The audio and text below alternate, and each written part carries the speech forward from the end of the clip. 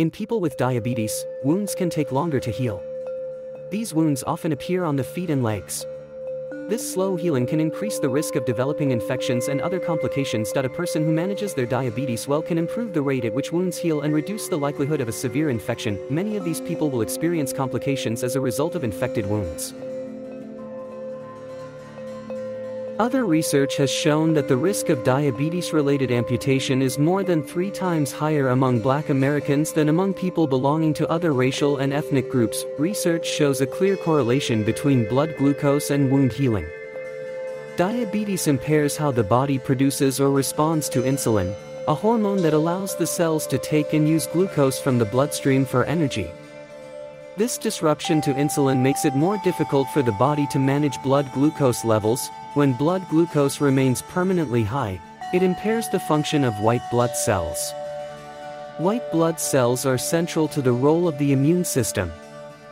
When white blood cells are unable to function correctly, the body is less able to fight bacteria and close wounds. Uncontrolled diabetes may also affect circulation, causing blood to move more slowly, which makes it more difficult for the body to deliver nutrients to wounds. As a result, the injuries heal slowly or may not heal at all. Diabetes can also cause diabetic neuropathy, which can affect wound healing. Uncontrolled blood glucose can damage the nerves, numbing sensations in the area. This may mean that people with diabetes who sustain trauma to their feet might not be aware of the injury that if a person is not aware of an injury, they may not receive treatment, which might allow the wound to worsen.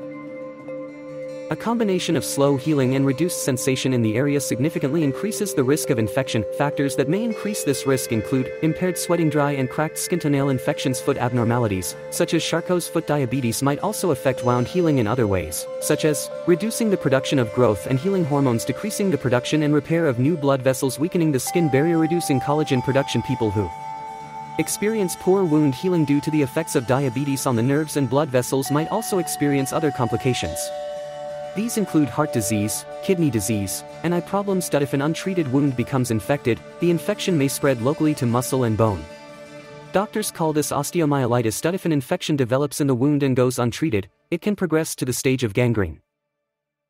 Gangrene is a common cause of amputations in people who lose limbs as a result of diabetes. Sometimes, people with uncontrolled infections develop sepsis, which occurs when an infection spreads into the bloodstream. Sepsis can be life-threatening, people with diabetes can use specific strategies to minimize the time it takes for a wound to heal. These include managing blood glucose, practicing thorough foot care, and treating wounds as they occur. Foot care for diabetes washing the feet daily patting the skin dry before applying moisturizer avoiding walking barefoot trimming the toenails carefully wearing comfortable shoes inspecting the feet and looking inside the shoes daily having a doctor check the feet at each visit wound treatment it is essential that people with diabetes carefully monitor their wounds. Although wounds might heal slowly, it is not normal for them to remain open for several weeks. Equally, they should not spread, ooze, or become extremely painful. An infection might not develop in every ulcer or wound, but people should still take steps to prevent infection. The first step is to clean the wound and cover it with a clean bandage. Repeating this daily. It might be a good idea for people with diabetes to wear shoes and socks when walking around, especially if a wound has developed. Being barefoot increases the risk of infection, people with diabetes should seek treatment if a wound develops on their foot and does not heal. A person will often need to take antibiotics to combat any infections, and they might require hospitalization if the wound is severe. Glucose control people who manage their blood glucose levels are less likely to experience severe wounds that do not heal. Although people with type 1 diabetes will need to take insulin throughout their life to control their blood sugar, people with type 2 diabetes have more options. As well as taking insulin and other medications, making certain lifestyle adjustments, such as eating a nutritious diet, exercising regularly, and reaching or maintaining a moderate weight, may substantially improve a person's blood sugar levels. These lifestyle changes may even allow a person to manage diabetes without medication. People with type 1 or type 2 diabetes can benefit from a carbohydrate controlled diet. It may be helpful to talk with a doctor, who can suggest a meal plan that includes the specific number of carbs that a person should eat each day. When a person has diabetes, a wound that does not heal can quickly become life-threatening.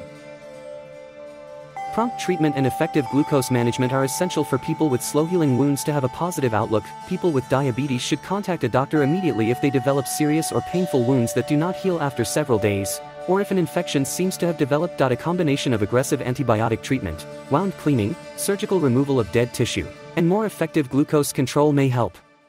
If the wound does not respond to treatment, amputation may be necessary. People should take preventive steps before wounds develop to reduce the risk of wound healing complications. Below, we answer some commonly asked questions about the effects of diabetes on wound healing.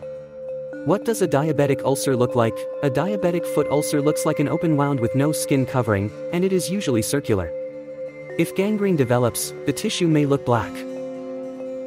A person will typically not experience pain, which often leads to a delay in diagnosis. How long does a diabetic wound take to heal? Diabetic wounds can take a while to heal.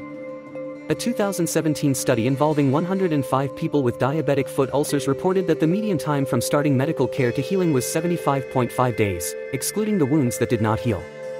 However, research also shows that some medications may be able to reduce this time significantly. Is there a way to save a limb if gangrene develops? Gangrene typically refers to a critical loss of blood supply with tissue destruction and, possibly, infection.